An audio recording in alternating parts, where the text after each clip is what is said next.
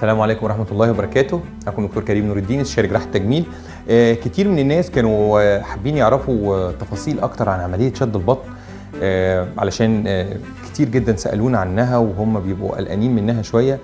اولا أنا حابب أطمن بس الكل قبل ما أقول شوية تفاصيل عنها إن العملية دي الحمد لله نتائجها كويسة جدا جدا جدا. ويمكن هي من أفضل عمليات تنسيق القوام من حيث النتيجة ومن حيث ساتسفاكشن رضا المريض بعد العملية عنها. فهي الحمد لله والحمد لله هي عملية آمنة جدا آه، لو التزمنا فيها كل التعليمات الطبية والإرشادات الطبية اللي لازم توفرها قبل العملية بتكون الحمد لله العملية بتعدي آه، بنتيجة لطيفة جدا وما بيبقاش فيها أي مشاكل على الإطلاق. آه، كتير من الناس بيقولوا بقى العملية دي بيحصل فيها إيه تحديدا؟ هي العملية دي الأول تتعمل لمين؟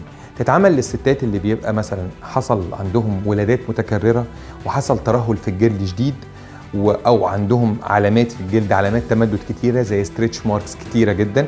فده معناه إن الكولاجين اللي في الجلد خلاص ما بقاش ما بقاش يعني ما بقاش active anymore ما بقاش نشط وحي آه، تاني. فعلشان كده أي تداخل ممكن نعمله سواء ال Vaser أو ال J-Plasma ما بيجيبش معاه نتيجة مرضية على الإطلاق.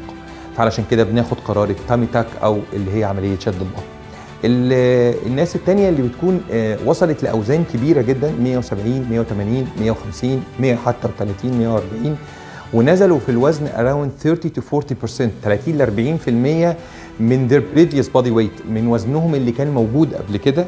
ف آه، آه، فيه around 3 4 كيلو أنت أخدت منه 2 كيلو فالكيس ده هيحصل فيه نوع من أنواع الترهل.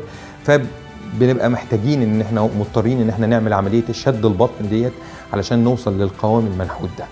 العملية دي بيحصل فيها تحديدا هو جرح بيكون أسفل البطن عند مكان جرح قيصرية أو تحت منه شوية علشان يبقى مستخبي في منطقة ال bikini area وما يبقاش ظاهر على الإطلاق.